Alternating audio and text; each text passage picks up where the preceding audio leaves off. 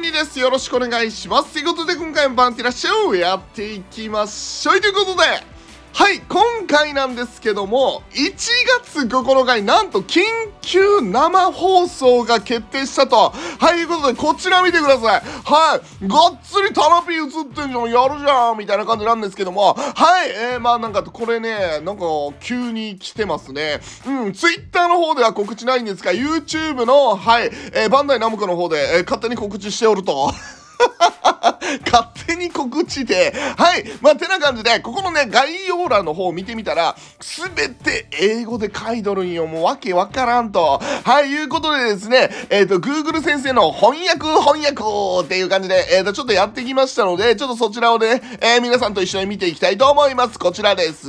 どうぞワンピースバウンティーラッシュ2023年からの年賀状。プロデューサーライブストリーム、えー、新年最初の生配信は1月9日11時から。はいプロデューサーからの手紙です。新イベントやキャラクターなどの最新情報をお届けブス。お前ブス。おいマジかよ。もうええって。もうもう来たやん。1月1日、おりん来たやんってことで、まあ、さっきの動画俺上げたんですけども、まあ、去年が一応、えー、12月31日に超フェスロジャーが復刻して、で、1月13日に新フェス弦のジャッククイーン、そして4周年、あ、3周年のカイドウが登場したんですよね。はい。まあ、なのでこれはね、超フェスではないと思うんですよ。超フェス、あ、まあ、明らかにね、まあ、ここでさすがに超フェス出してきたら、本当にま、ちょっと気色悪いと思うんで、えーと、もう、ここはさすがにフェス芸、はい、フェス芸のキャラクターがま登場してくるんかなと、えいうふうには個人的には思っております。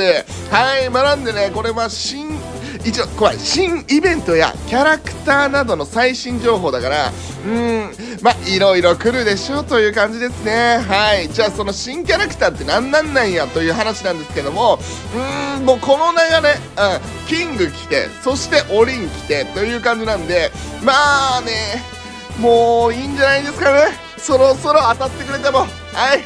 えまぞろもう投げやりです。はい。えっとまあそろ そろ来てんじゃん。もうこれぐらいのことしてくるんやったらね。うんもうこれみんなほんまに何やと思いますか？いやこれはもうちょっとさすがに予想できん、うん、もう4周年に俺エマゾロと思ってたんでこのタイミングで来るキャラクターが何なのかちょっとわかんないし。うんまあもしかしたらねアップデ情報だけかもしんないんですが新キャラではなくてね。うんただ去年のこともあって1月13日に新キャラ、えー、フェスゲンのキャラクタージャッククイーンが来てるからいやここは穴がし、えー、なってもいいかなというふうに思いますいます。まあなんでねここね1月9日ぜひとも皆さんね楽しみに待っていきましょう。はいもしよかったらねみんな何が来るのか、えー、よかったら、えーと、コメント欄で教えてください。てなわけでバイバイ。